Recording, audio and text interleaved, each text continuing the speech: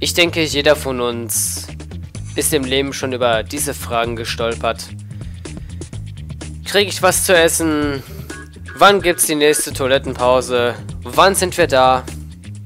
Sie kommen einem zu den Ohren raus. Nun, zumindest auf die letzte Frage kann ich schon mal so eine Teilantwort geben. Wir sind fast da. Denn das ist der Titel dieses Spielkapitels. Und damit willkommen zurück zu Let's Play UEFA Champions League 2004-2005. Beim letzten Mal haben wir dafür gesorgt, dass Crystal Palace zweitklassig wird und wir erstklassig bleiben. Hoho. Und jetzt geht es weiter mit dem Betreff Real Madrid. Fürs Finale qualifizieren. Wir sind nur 90 Minuten davon entfernt, uns für das Champions League Finale zu qualifizieren. Nach dem, was die Mannschaft in dieser Saison durchgemacht hat, dürfen wir uns diese Gelegenheit nicht entgehen lassen. Ich vertraue darauf, dass es die Mannschaft nicht dazu kommen lassen wird. Boah. Du Tagträumer. Werd mal endlich erwachsen. So. Habe ich hier dran was verändert? Nö. Nö. Ach komm, das lassen wir so. So. Und jetzt geht es auch ganz von vorne los. Nicht in der dritten Minute, sondern in der nullten Anstoß. Let's go.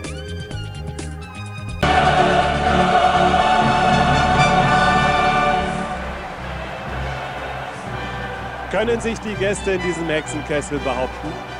Im Hinspiel hatten sie den Vorteil der eigenen Fans im Rücken. Da haben sie gewonnen. Wie wird das heute ausgehen? In 90 Minuten wissen wir es.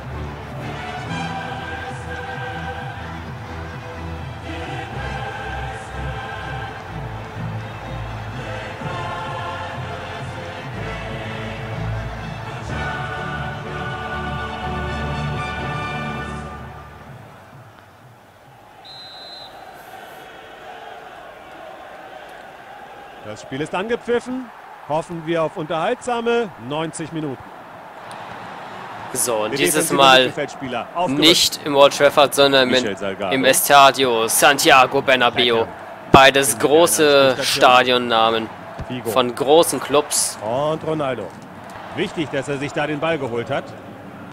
Jetzt Keane. Und wenn das hier auch nur ähnlich spannend wird wie das Hinspiel, dann werde ich hier wieder einige nerven lassen. Wayne Rooney. Ja, Wayne spielt wieder in die falsche Richtung und der ist aus. Die Chance aus diesem Einwurf nutzen. Rüd van Nistelrooy. Der Trainer signalisiert ihm schon. Flanke! Schöner Angriff in der eigenen Hälfte. Guti. Beckham. Er holt sich den Ball im Mittelfeld. Van Nistelrooy. Aber auch hier hat Ibagaza mal wieder so einen leichten Vorteil. Auch er Genau wie gegen Barcelona kennt er ja bereits die Herrschaften Schon von Real Madrid. Den muss er versuchen. Ach, Rüd schießt doch einfach gleich, weißt du? Nicht ohne Grund drücke ich diese Taste extra schon früh. Boah! Und da wird echt noch geklärt. Das ist ja nicht zu fassen. Aber sie sind kopfballstark. Abgeblockt sein Schuss. Ich muss mich einfach noch daran gewöhnen, dass ich hier mit Real Madrid einen richtigen Gegner habe abgeblockt. Und da hat Cassias den versteckten Magneten in seinen Handschuhen ausgepackt. Ich denke, ihr alle habt gesehen, wie der Ball auf einmal wie von Zauberhand in seine Hand flog. Pass in den Strafraum der Gäste. Crespo. Da ist er drin. Aber das kann er auch nicht mehr verhindern. Das Tor für Manchester United. Klasse Quote. Ein Schuss, ein Treffer. Sie werden mit Selbstvertrauen in dieses Spiel gehen, denn zuletzt haben sie ja einen Sieg verzeichnen können. Und genau wie der Horm ruft auch hier der kleine Block von Manchester mhm. United Fans Rüd. Schön, wie er sich da den Ball geholt hat. Ja, also diesmal drehen wir den Spieß um und gehen selbst in David Führung. Beckham. Der Ball geht über die Linie, es gibt Einwurf. Jetzt hoffen wir einfach mal nur, dass Real nicht zurückschlägt mit einem Doppelpack oder so. Rüd van Nistelrooy. Van Nistelrooy! Guti. Denn ich oh, möchte eine Konstante in diesem Let's Play wenigstens wahren. Noch nie musste ich hier eine Partie wiederholen, weil mir irgendwas überhaupt nicht in den Sinn gepasst hat. Oder weil ich ein Missionsziel oder ein Champions League-Spiel komplett verpasst habe. Gut gehalten. Und das soll auch so bleiben. Crespo etwas zu überhastet im Abschluss. Und weg mit dem Ball. Owen. War wohl auch etwas überrascht, da so viel Freiraum zu haben. Luis Figo. Owen. Giggs. Ja, und Giggs mit einem eröffnenden Pass der absoluten Deluxe-Klasse. Der Innenverteidiger hat noch ein Bein dazwischen bringen können. Rooney. Der muss reingehen. Super gehalten, das muss man sagen. Sehr gut gehalten. Aus dieser Position, da hätte der Ball eigentlich reingehen müssen. Ja, und Crespo benutzt Und wieder den rechten Ball. Fuß, weiß der Teufel warum. Das ist der sogenannte Rechtsfußteufel. Schleicht sich mal genau dann an, wenn man ihn nicht brauchen kann. Zinedine Zidane. Ja, Sinne, den sie da nicht sehe, das Sinne, den sie dann am Ball war. Owen. In Sicherheit geköpft. Abwehr, formier dich. Angriff abgefangen vor dem eigenen Strafraum. So. Rüd van Nistelrooy. Im Mittelfeld nimmt er dem Gegner Och, den aber Rüd kann irgendwie gar nicht mehr alleine. Er hat eine erstaunliche Michael Verwandlung Owen. durchgemacht. Vom Solo-Künstler zum absoluten Teamplayer. Das ist Rooney. Das finde ich schön für ihn. Aber manchmal vermisst man dann doch so ein bisschen diese Solo-Läufe von ihm. Das haben sich dafür irgendwie andere Leute Er angeeignet. holt sich den Ball. Da sind sie hinten wieder ganz in Ballbesitz. Jetzt Keane. Van Nistelrooy. Die Verteidigung kann sich sehen lassen. Owen.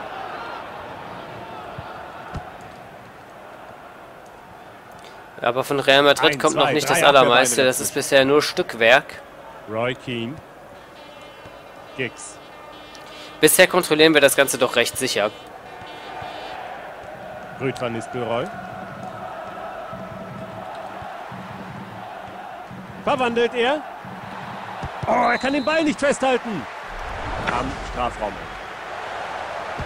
Ja, Röd langer Ball, okay. Er rettet mit einem Kopfball. Da haben sie den Ball wieder. Was das war, weiß ich nicht. Zehn Meter vor der Eckfahne. Und dieser Vorfall nochmal in der Wiederholung. Och, ja doch, war abseits.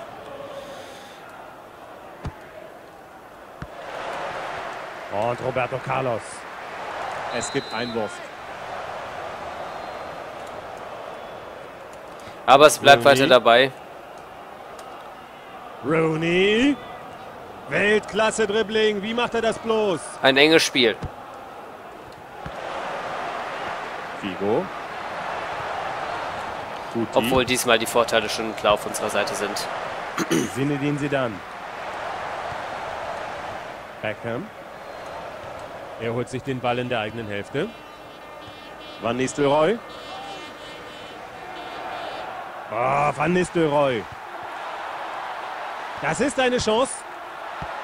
Nein, und da habe ich eigentlich den. Rüd gesehen, aber irgendwie war da doch nicht der Rüd, sondern der Samuel. Erst ein Tor gab es zu sehen. Mit 1 zu 0 gehen wir hier in die Halbzeit. Auch wenn sie dieses Spiel kontrolliert haben, werden sie zur Halbzeit sicherlich mit enttäuschten Gesichtern in der Kabine sitzen. Was? Tolle Warum? Leistung von den Verteidigern. Was haben wir denn gemacht? Beckham. Das verstehe ich Luis jetzt nicht so Figo. richtig. Den Ball erkämpft. Jetzt sollte es schnell gehen. Haben wir den Rüdiger irgendwie verärgert? Das will ich jetzt mal nicht hoffen. Bei dem erwarteten langen Pass. Der kommt jetzt auch. Das würden wir überhaupt das nicht wagen, Chance. Kommt jetzt die Flanke. den Rüdiger zu verärgern. Ja, aber. Rüd, wenn der Wayne schon winkt und ihn extra auch in die Gasse läuft, ausnahmsweise mal, dann wäre es doch nett, wenn du auch genau in diese Gasse spielen würdest und nicht völliger unverständlicherweise irgendwie in den Rücken, wo keine Sau steht. Rooney. Van Nistelrooy. Auf diese Verteidigung kann man sich verlassen. Zidane. Ja, und da wird sie dann einmal kurz so richtig mit der britischen Härte vertraut gemacht, aber hier ist niemand, warum nicht? Der ist drin. Tor! Souverän abgeschlossen. Ein gutes Tor und das wird sein Selbstbewusstsein stärken. Damit steht es unentschieden mit jeweils einem Tor auf jeder Seite. Ja, und Real Madrid zeigt, auch sie wissen, wie man einen Ball gefühlvoll unten einschiebt ins lange Eck. Das ist nicht nur ich das beherrsche, wovon ich auch nie ausgegangen bin. fest entschlossen. Schön, wie er da ebenso noch rankommt. Und es sollte ihnen Mut geben, noch mehr zu versuchen. Das war schließlich erst sein erster Schuss aufs Tor. Also beim besten Willen, da verstehe ich nicht, wo meine Abwehr Uti. gewesen ist. David Beckham. Weil eigentlich habe ich ja schon eine Viererreihe und auf einmal ist da ein Typ völlig alleine. Und was? Oh, da ist der Netz! Das war brillant, wie sie da regelrecht mit dem Ball das Spielfeld in Richtung des gegnerischen Tors geflogen sind. Ein super Tor, darauf kann er wirklich stolz sein. Das, das kann doch jetzt nicht wahr sein, oder? Das mit diesem Doppelpack, den Real Madrid erzielt, das war, hatte ich eigentlich nicht ernst gemeint. Crespo. Also auf Halbprofi gehe ich dann Der schon noch eigentlich geführt. von einem Sieg von mir aus. Rooney. Schön hin und her gepasst. Und bei den Gelegenheiten, die ich hatte... Zinedine Zidane. Ja, war das eigentlich auch relativ deutlich jetzt. Haben die echt einen Doppelpack erzielt? Wow. Er nimmt das den ab. Jetzt Crespo. brauchen wir Siegermentalität, liebe Leute. Das ist, glaube ich, auch das erste Mal in diesem Let's Play, dass ich von einer Führung in einen Rückstand gerate, ohne dass mir das Spiel irgendeine Situation Crespo. vorsetzt. Crespo. Auch das zeugt von der ungeheuren Klasse von Real Madrid. Und Beckham. Und das ist jetzt auch für mich eine echt neue Situation. Das ist so, wie wenn der FC Bayern mal zwei Spiele in Folge nicht gewinnt. So ungefähr muss man sich das vorstellen. Jetzt King. Und Ronaldo. Sie dann. Roberto Carlos. Ronaldo. Souverän dem Gegner den Ball abgenommen. Ich meine, für die Spannung, für den neutralen Zuschauer ist das natürlich jetzt geil.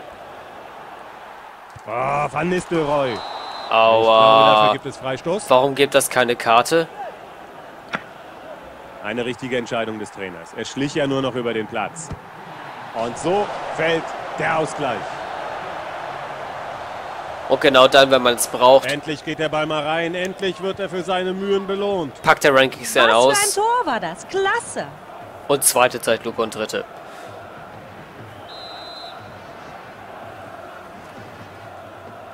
Vier Tore gerecht verteilt. 2 zu 2. Ach ja, klar. Ich lag hier hinten, ich vergaß. Natürlich fällt der Ausgleich. So. Endlich, ein, mein zwei, zweites Freistoßtor. Und es hätte zu keinem besseren Zeitpunkt fallen können. Mit den Fingerspitzen abgewehrt. Beckham. Das war eine Situation, wo der Ball nicht unbedingt hätte reingehen müssen, finde ich. Der Schiedsrichter pfeift ab. Was? Der Trainer ist mit dieser Entscheidung gar nicht Ach, hör doch auf! Könnte er sogar recht haben. Ey, deine Mutter ist abseits. Abseits von der Männerwelt. Crespo. Er will den Treffer. Da hat nun wirklich nicht viel gefehlt. Und damit steht fest, es gibt keine Verlängerung. Und das war für uns zumindest das goldene Tor. Jetzt gibt's Einwurf. Denn Real Madrid muss jetzt zwei Tore erzielen, um hier noch weiterzukommen. Und wir alle wissen, dass das doch wirklich jetzt höchst unwahrscheinlich ist. Die zwei Tore schienen nicht völlig unmöglich für Real. Die sind ja auch gefallen. Aber vier jetzt ist dann vielleicht doch ein bisschen viel Guten. Leute vorne suchen. Jetzt vielleicht mal. Crespo. Crespo. Dass der es immer gleich mit dem Übersteiger versuchen muss. Aber sie dann auch immer sehr optimistisch da unten, wie er sich den Ball immer 20 Meter vorlegt. Gute Länge im Pass. Und Beckham. Der Ball gehört ihm. Ja, und Kiketler Beckham nimmt sich heute auch mal eine Pause, von dem ist auch nicht viel zu sehen. Kann er ihn reinmachen? Tolle Aktion, da kam der Torwart noch an den Ball. Ecke. Und ich meine, außer diesen beiden Toren hat man von Real auch nicht wirklich viel gesehen in diesem Spiel. Muss man auch mal so deutlich sagen. Aber sie waren halt da. Abwehr ist so schwer zu knacken bei so einer Vielzahl an Verteidigern. Beckham. Das ist Fußball. Michel Salgado.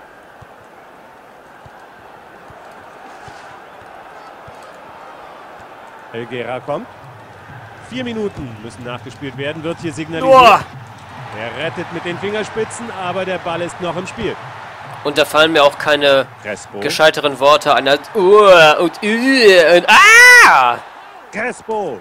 Das sind dann einfach die Urlaute des männlichen Schreckens. Den holt sich der Torwart. Das bitte ich auch zu verzeihen. Der Torwart. Aber ich finde, ich muss mich nicht in jeder Situation gescheit artikulieren. Äh. Das steht mir auch mal zu. Das ist Rooney. Er muss schießen. Ja, Tor! Und da ist auch noch der Siegtreffer als krönender Abschluss. er kennt kein Zögern. Das Perfekt. war ein wichtiges Tor, Steffen. Der Trainer weiß es und er schaut auch ganz schön zufrieden. Ah, sehr gut. Rüdiger ist zufrieden, sehr gut zu wissen. Michel Salgado. Figo. Guter Doppelpass.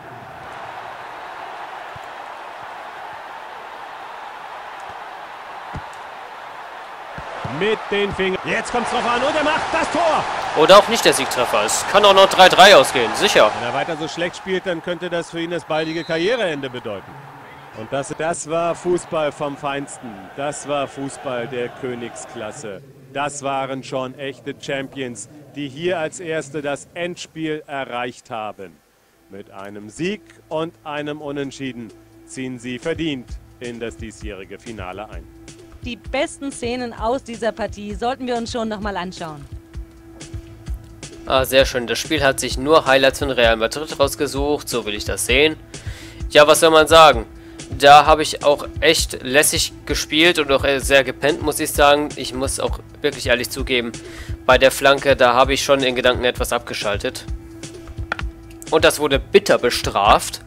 Mit einem 3 zu 3 Ausgleich. Was für ein Spiel, würde ich sagen.